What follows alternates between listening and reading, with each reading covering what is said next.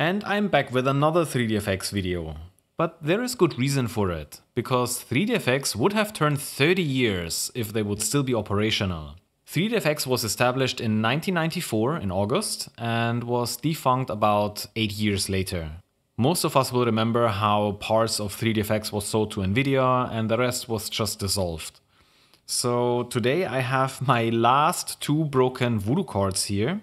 At least Voodoo 1s and Voodoo 2s. I have a few Voodoo 3 cards that will come at some point in the future, but this is all BGA rework and I'm not yet comfortable with that, but it will come at some point.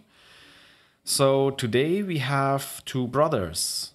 This is the smaller one. It's a Diamond Monster 3D, the original Voodoo card. There are some of these pads that should be populated with some additional capacitors, so they have been ripped off and the others are a little bit roughed up. And there are bent pins on the FBI chip, so we need to check and figure out what's going on here and uh, straighten them. This card is almost certainly from the scrapyard. I found this. There was one day I had a lot of luck and I found three 3DFX cards. You have maybe seen the other card that I rescued from the scrapyard. It's this one here. This There's already a video about this card on my channel. We were fixing a lot of SMD components on this card, but this card works perfectly fine now. The problem with this card is I think there are most likely a few issues at the back. I'm not sure, but it could be that there are a few broken SMD components on the back, so we should check this just in case. I don't want to have a shorted capacitor or something like this on that card. And we will fix those pins in the corner and then we can test it. I will leave the capacitors out for the end, I think, before I start anything. I want to see if this card actually delivers a picture. And then this card works perfectly fine. So why is it here on my workboard? The card works fine when it's used by itself, but the moment it is part of an SLI setup, I get a weird behavior on the screen. It renders fine, but in between the screen gets dark for like a fraction of a second and comes back. It's not that there is an issue with the rendering, I think. It continues to render, but I'm losing the signal on the screen. It is random. I cannot reproduce it 100%. So I suspect the pins to be loose from the pads. And the problem is I already poked a little bit around with my small tweezers and I think I fixed it. So whatever I show you today, how this card behaves is done by me through editing. But I think when I used my tweezers to poke around this card, I hit that pin that was responsible for the blackouts. And yeah, this is a little bit unfortunate. Nevertheless, I can still show you that even though it looks like that all the legs make perfect connection to the pads, they are not. There are weak solder spots and most likely these affect the quality of the electrical signals that go through them. I cannot explain it better, but this is what I think. So what I will do today is I will reflow all the solder spots around all three 3DFX chips because otherwise this card is in pristine condition. There is no scratch, there is no broken SMD components, nothing. This one looks really, really, really good. So yeah, let's uh, maybe jump under the microscope and uh, let's start with this card. We will first look at the Diamond Monster 3D and straighten those pins and then we will see if we spot something else because I think this card is actually from the scrapyard. But before we start, a quick shout out to PCBWay, the sponsor of today's video. If you are in need of CNC machining, 3D printing, sheet metal fabrication or injection molding, you should definitely check out PCBWay.com. I'm using PCBWay's services for over 2 years now and the quality of the PCBs I ordered were always top notch. To place an order, you just have to upload your Gerber files and then you can customize your order. Select the thickness, color and finishing. And within a couple of days, you will receive your PCBs from PCBWay. You can also check out PCBWay's shared project space where hobbyists and professionals share their work. Links are in the video description. This is the Diamond Monster 3D under the microscope. We are looking at the corner of the FBI chip and you can see here how the pins are almost touching. So this is something that we need to fix before we even attempt to plug this card into a test system if I show you the leg, the bottom of the pin. So this one is touching the other one, the adjacent pin, definitely. So this one we have to straighten and it looks like this pin still has contact with the pad, but it's almost gone. So we have to be very gentle and careful that we are not damaging the pins that are next to it or worse, rip it off. Oh, okay, no, this is loose. So here you go. Okay, this was a good one. It was a little bit harsh, but I think we are halfway there.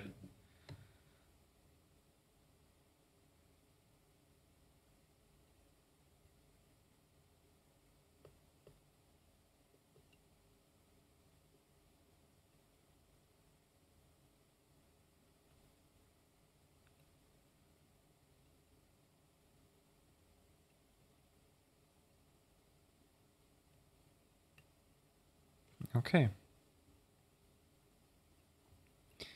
I may try to apply fresh solder over these pins completely to reinforce them a little bit. They feel very soft. I just try to twist it back into place. Just very careful. Okay, and I think that's it. This is all we need to do here.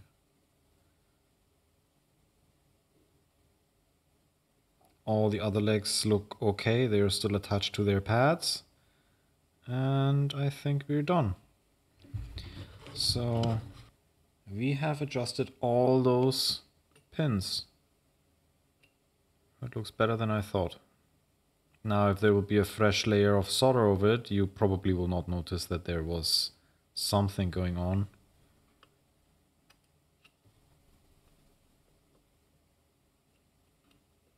Okay. Okay, looks good. Now let's have a look at the smaller chip, the TMU. Texture mapping unit. It's just a little bit dirty. Mm, here looks like we have some oxidation there.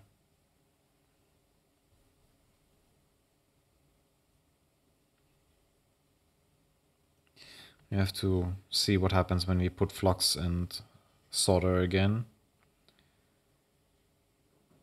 And this one looks good, this side. And the last side, there's something that's still a little bit bent here. This one pin or two pins look like they have been deformed a little bit, not much.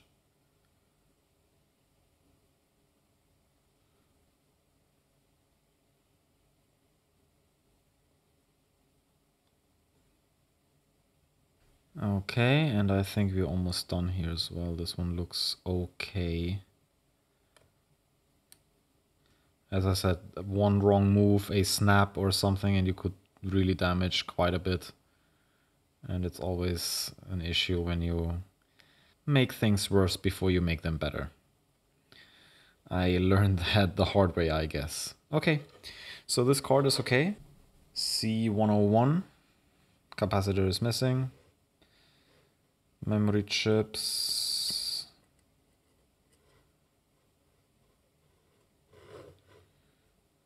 They look okay.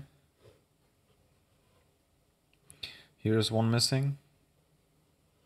And two more missing. But otherwise I think the front of the card looks quite decent even the capacitors that are still on the board, even though they are scratched, I think they are okay.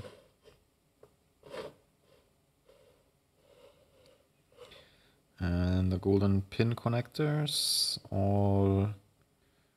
Uh, this one doesn't look nice. This got a big deep scratch here. This one connector.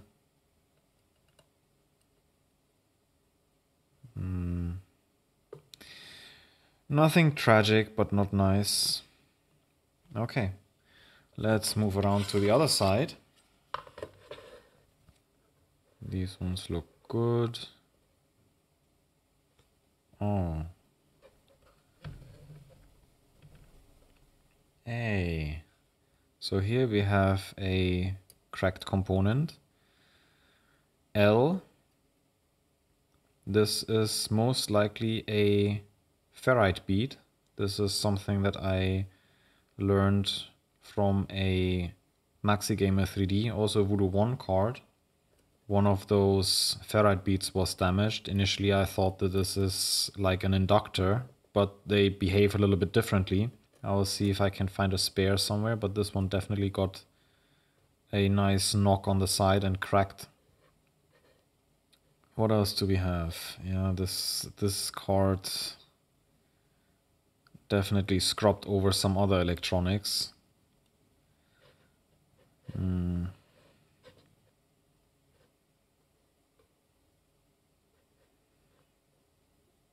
Oh, I think this capacitor is not in the right orientation. This one decided to be different. This one will fix while we are fixing this ferrite bead, unless I find something else on this card. Most of them have just scratches on it, so this is not a big problem. Oh. So here's one more cap that needs to be replaced. This is this one lost half of its housing. So this we need to replace. I don't know what C65 is. I think I should look up a component map. If you remember for the Voodoo 2 we had a component map available. I have a feeling that we also have one for the Diamond Monster 3D, the Voodoo 1. Okay, there is one more capacitor. C6, oh, and C59 is also damaged. Though these two need to be replaced. And maybe this one here too, C57. Okay, we have like 4 or 5 capacitor and that one ferrite bead that needs to be replaced. And then we can test this card, I think. Unfortunately, I couldn't find any component map for the Diamond Monster 3D, so I have to go to one of my working Diamond Monster 3Ds and measure the components that are on the same location as on this ones that are either broken or uh, half, half gone. So let's just quickly test these components here, these ferrite beads. My multimeter is in continuity mode. And yes, yes, and this one looks like it does have continuity, however it has that crack in the housing, so I feel better if we replace this one. Most likely this would work, very interesting. But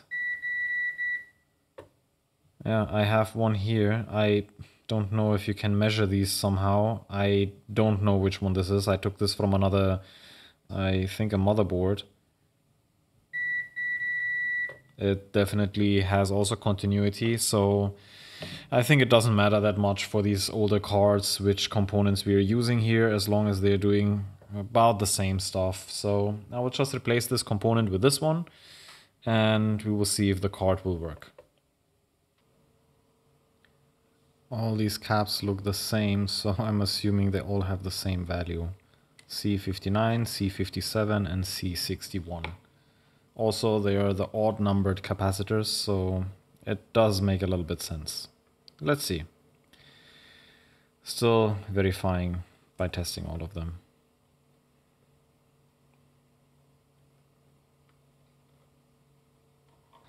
And C65 is a 100 nanofarad. C61 is a 100 nanofarad capacitor. C59, 100 nanofarad. C57, 100 nanofarad. So 100 nanofarad caps.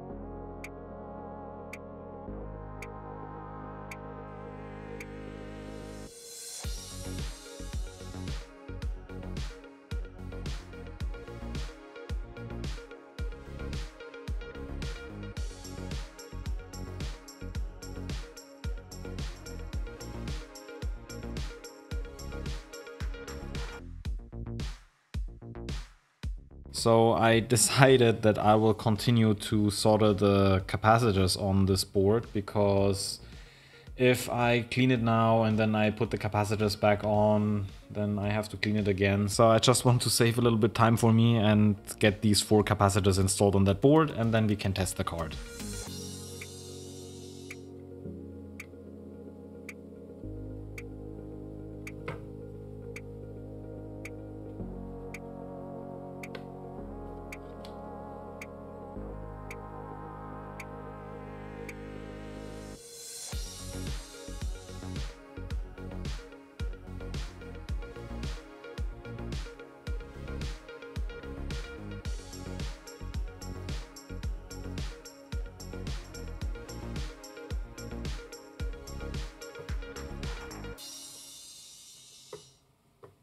So the card is almost ready. I just want to double check this one area that we saw here where we had all this discoloration, which looks like corrosion to be honest.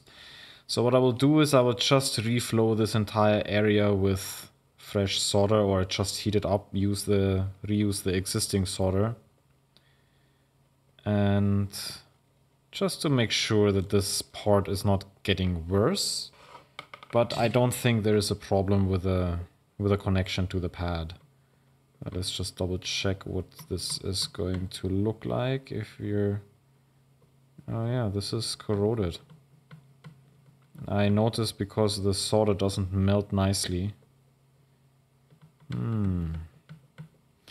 That's not good. So, what I will do here is I will just create a lot of solder bridges now. I just need to make sure that we get that corrosion off. And the best way of doing this, unless you have a better suggestion, is to use fresh solder. And you can see already how things are getting loose and float around. Yeah, this is not good. Hmm. And I'm moving pins around. Which is also not good. Okay this is a little bit more tricky than I thought. Another option would be to scrap it off with solder wick let's see if this works better than just going over with fresh solder. Okay let's try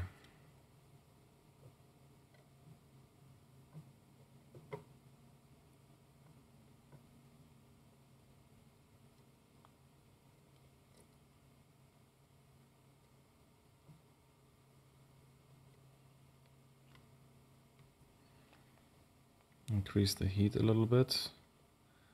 I'm at 350 now. So and now let's see. Can we get rid of this stuff that's everywhere.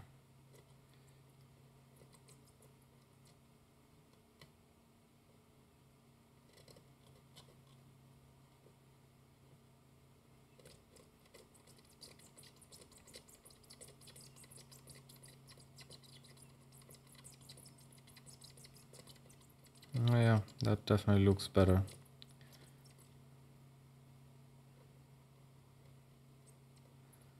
Luckily, I think it's worse in that corner. The closer we go to the center of the chip, the less corrosion there was.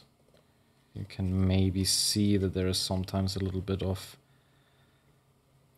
corrosion attached to the pins. Okay, we are actually almost done with the chip, at, at least this side. I think I didn't see anything like this on the other sides of this chip, only here. Now let's add a little bit fresh flux. And try another round with fresh solder. And see how this goes.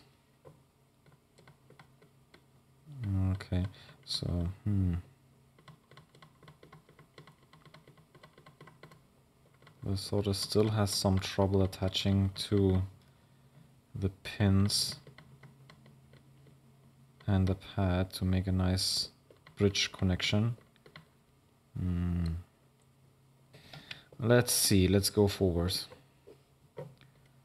Let's go forward and take as much corrosion as we can away and then we go over it one more time with the solder and then let's see what is the final result. And you still see there are still bits and pieces of corrosion coming off the pins and the pads. And it doesn't form that nice deposit of solder when you're going over it. And like here, this one here, for instance, you see it, it doesn't it doesn't want yet, but we will get there. Okay, this looks much better now. Still a little bit, but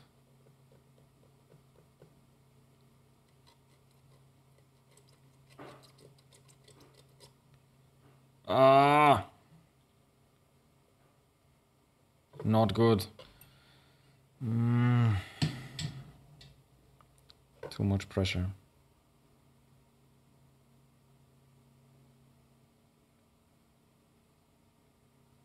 Okay. Hmm. Maybe better to move up and down instead of left and right. So we'll not disturb the pads too much.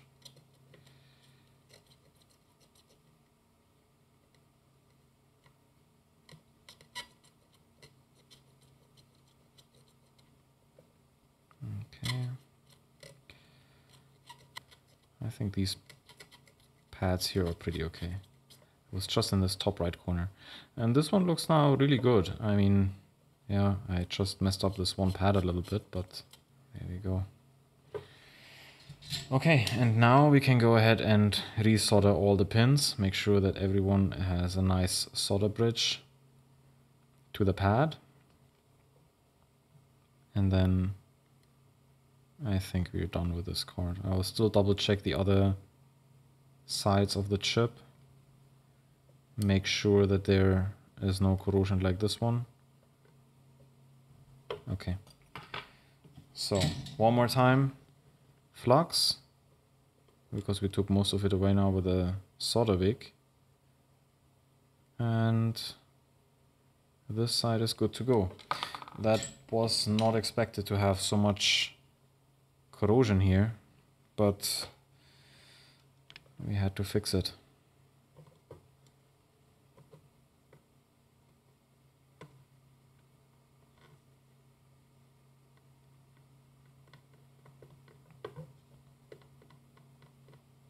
Okay. Now this looks much nicer.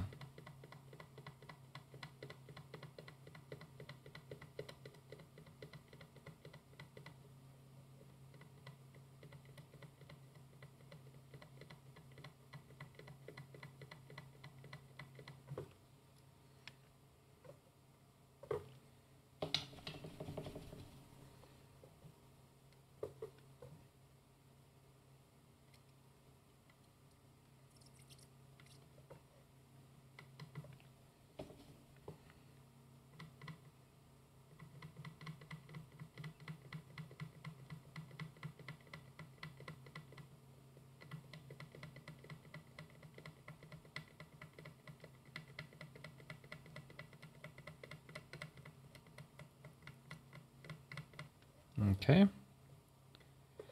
One last time here. I think we need a little bit more solder on these pins.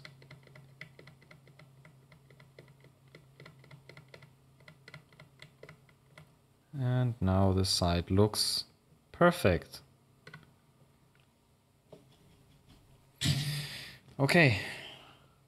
So now I also decided to reflow the sort of all pins on this chip, probably also on the FBI. So I just don't want to have any type of corrosion or weak solder spots on this Voodoo card. Sometimes it's just better instead of wasting time testing and redoing things to just go ahead and finish it. But here it looks fine. So this is really located to this one side of the TMU chip as it looks like. But yeah, still odd. Why would it only corrode there and I don't see anything else around this chip? Uh, it was facing the back of the of the PC case. You never know what kind of conditions this card was exposed to. So it could be that there was just something unfavorable for these solder joints.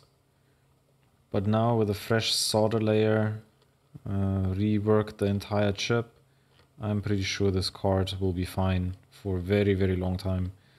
It took 30 years approximately for this solder to get bad. I don't know, it has another 30 years maybe. Ah. Okay, so let's take this excess solder away. I will work on the FBI chip.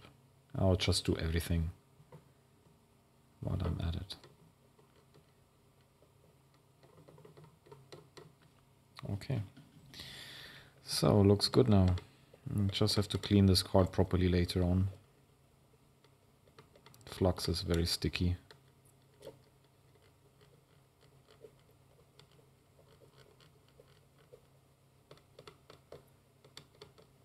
Okay.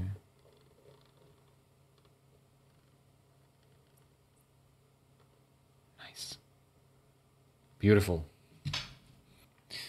I also said before that I will fix the top of this chip here a little bit. I will do this right now. There is a layer of something above these pins. So let's see when I go with a soldering iron over it. They get nice and shiny.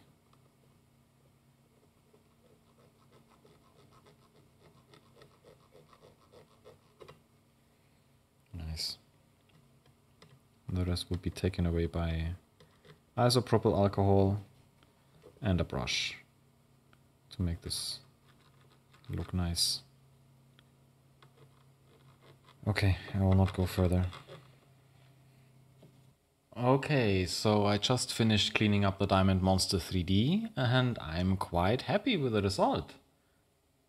Those solder joints look really good. All the corrosion has disappeared and all of the pins of these 3DFX chips are now freshly soldered to the pads and I don't think we will get any issues with this card. This was the side where the corrosion was on. There is still sometimes a little bit, I don't know, some residue between the pins, but it's not visible that much. So there is nothing else to do on this card. I already added the capacitors. I fixed the SMDs on the back. We resoldered all the pins on the 3DFX chips. So yeah, let's put this card in the test system and see what's going to happen.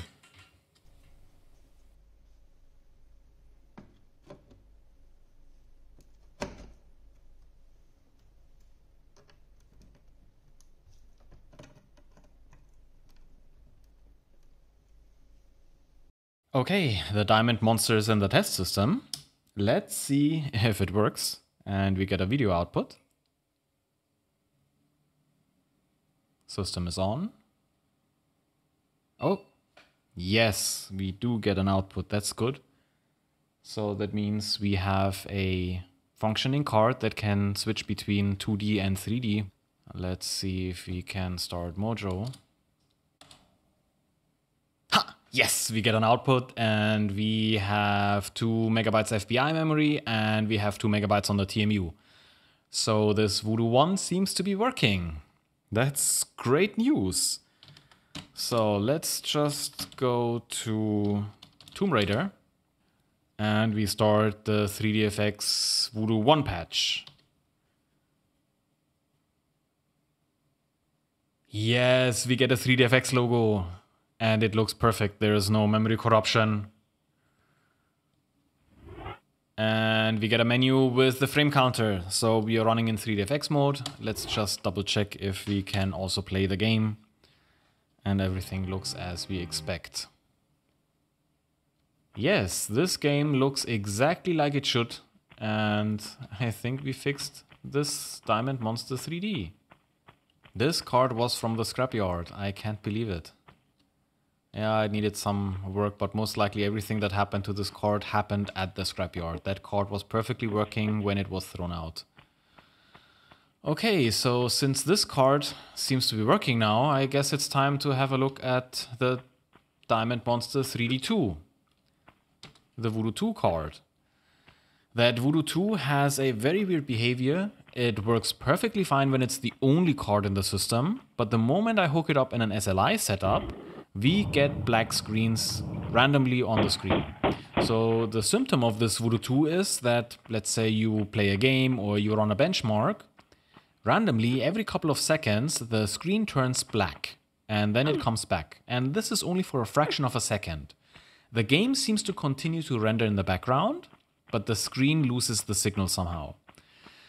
As I said before, I suspect that there is an issue with the connections of the pins of the 3DFX chips to the pads of the card. And we'll have a look at this under the microscope in a moment. But I already poked with my tweezers around the 3DFX chips and I may have made it better. So I fixed this problem a little bit by poking around with my tweezers. That's a little bit unfortunate. I still hope I can reproduce this problem.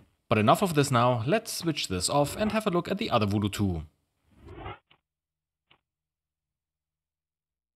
So the two Voodoo cards are in the test system. And if we check the properties, let's see if we have the SLI detected. Okay. And okay, okay, unfortunately, this driver doesn't have a nice display of the details of both Voodoo cards, but we see the scanline interleave has been detected. Total texture memory 16 megabytes. This is of both Voodoo cards. And we have the frame buffer at 8 megabytes, which is 4 for each card.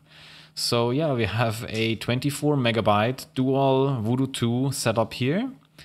And now let's just see how this one Voodoo card behaves when we play something like Unreal.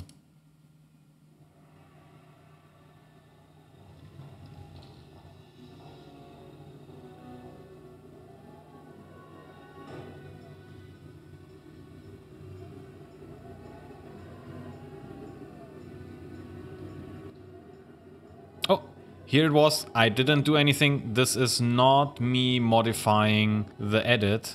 I'm not touching the video output. This is original. That black screen that you've seen before, this is exactly the behavior that I get with one of these Voodoo cards. The Voodoo card we are trying to look at today. Let's see if we get another flicker of the screen. So maybe it wasn't 100% fixed by me poking around. We can also see quickly, let's see, we should be able to run this at this resolution, 1024 by 768. Since we have two Voodoo cards in there, this resolution is possible.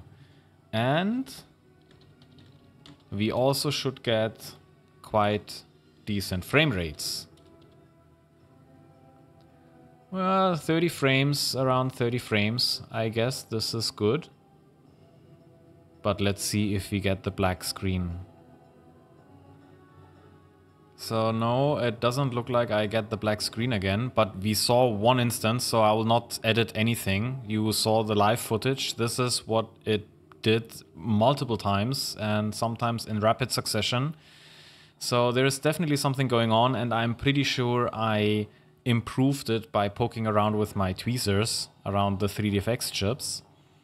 But otherwise, you can see that there is no issue with the rendering. So both 3DFX cards definitely work together. We are running at a resolution of 1024 by 768. As you probably have seen, it's just a black screen, but it continued to render the scene. So I'm pretty sure there is some communication problem delivering the image to the screen.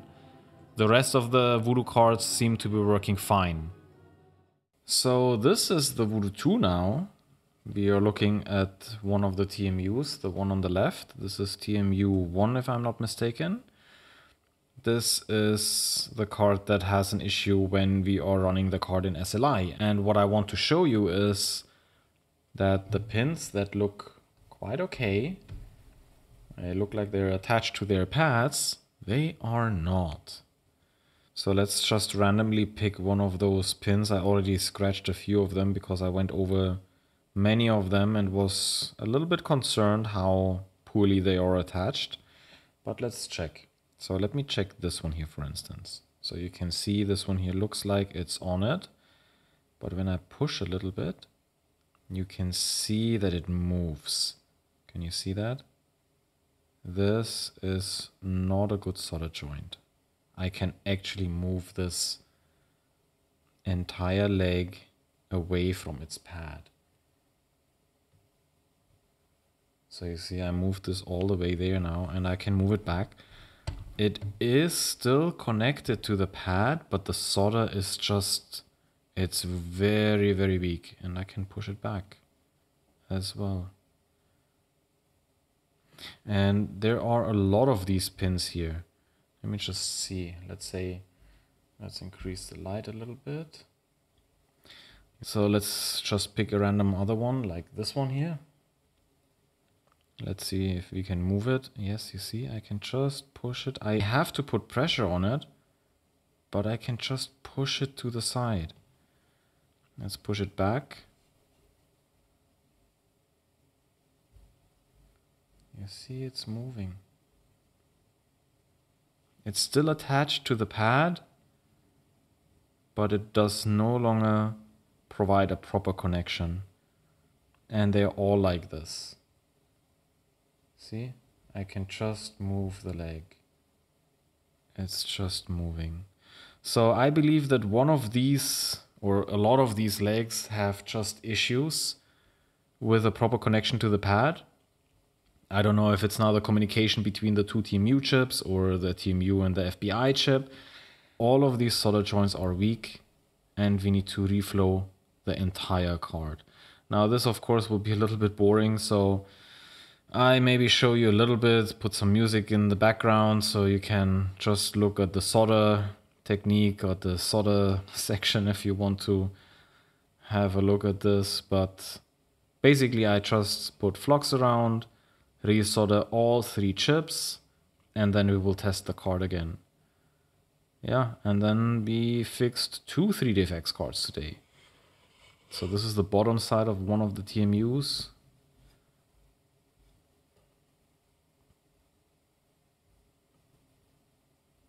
yeah you see you can just push this this leg around it's not too much pressure but it shouldn't be like this this one should be rock solid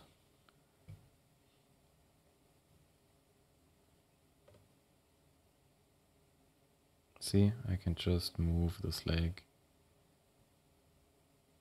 okay I don't want to push too much you know one slip and then suddenly disaster. So let's not do that. I'm going to resolder these legs and then we'll test the card, see what happens.